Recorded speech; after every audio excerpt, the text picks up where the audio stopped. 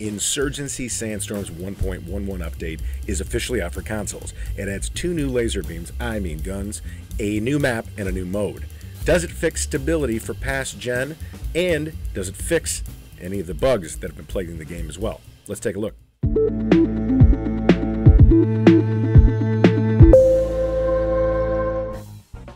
So at 1:04 a.m. this morning, uh, my PlayStation 5 uh, uh, completely updated the Insurgency Sandstorm game, and I jumped right in to play a little bit of Gap and uh, take a look at some of these new weapons.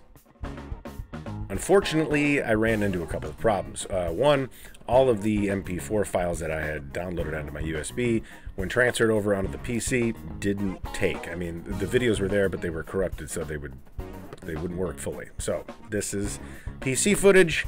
Uh, I'm going to try to get that figured out so in the future I can do this um, without having to go onto the PlayStation to make these videos. But um, I also noticed that there was uh, the watch replay in the stats menu in the main menu um, works for PS5 and on a console. Uh, I had not realized that previously, and I'm not sure whether or not it was on there before for, or if it was added in this update. I have a feeling it wasn't added in the update, um, but I really don't know for sure, so don't quote me. But I thought it might be cool to take some, do some cinematic capture uh, with that spectator watch mode.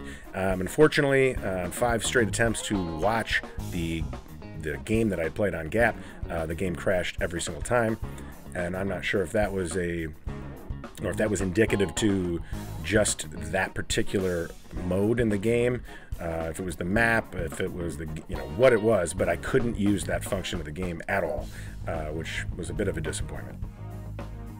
So while the game is still crashing apparently, um, I didn't really have any issues with it uh, during actual gameplay. I had some stuttering. I had a lot more stuttering than I remember having before. Uh, let me know if that's something that you guys are dealing with. I don't know for sure. Again, I'm on PS5. Um, my game has crashed maybe three or four times uh, since I downloaded it in total, which is, I, you know, it's better than a lot of folks have had. Um, but let's get to the stuff that's good. Okay, two new guns in this game, the P90 and the Vector. Both are, as I mentioned earlier, kind of laser beams. So they're they're a ton of fun to use, but you know, one of the things about about this game is is controlling recoil, and there really isn't any, especially with the Vector. There, I mean, it's it's a straight up laser beam. So enjoy that while it's while it's still, you know, functioning that way. My guess is they may they may nerf that a little bit, and they may add a little recoil to it. So the new game mode is Ambush, and this is a one life mode where insurgents try to kill a VIP or kill the entire security force that is escorting that VIP to an extraction zone.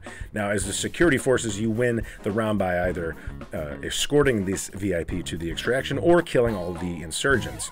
Um, it's a really fun mode in theory, and I know it's something, it's a style of, of mode that a lot of players have wanted. So I'm curious to know what you guys think about it. If you've played it much since this has been out, again, this is, I mean, it's only been a, you know several hours. So as this update is is running for the next week or so, I'll be interested to see what you guys think about that. The prone bug is officially fixed, at least for me it was. Uh, I'm able to go prone now without having to stand straight up first. That's fantastic. Um, really, really nice to be able to do that now um, and be able to lay down without having to get your head shot off first. So as I mentioned earlier, trying to do some of the replays via the uh, watch function in the stats menu, um, which essentially is a you know a replay for a spectator mode, uh, and you can do some really cool cinematic stuff with it. I've only been able to do this on PC because, as I said, uh, this function didn't work and it crashed my game on five straight attempts to try to do it. So that's not working, unfortunately.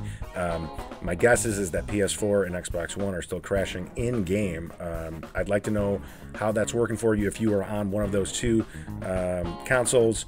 Um, overall, I think this update's real nice for the most part, but if it hasn't addressed the stability stuff for, for past gen, um, there's still a big chunk of work to be done. But let me know what you guys think. I appreciate you stopping by, watching the video, and we will see you out there, and we'll see you later on in the week.